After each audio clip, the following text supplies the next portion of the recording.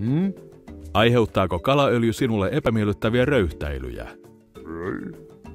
Uusi Möller Omega 3 ei röyhtäytä. Hmm?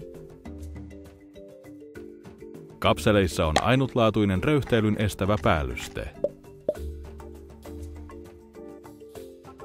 Aa,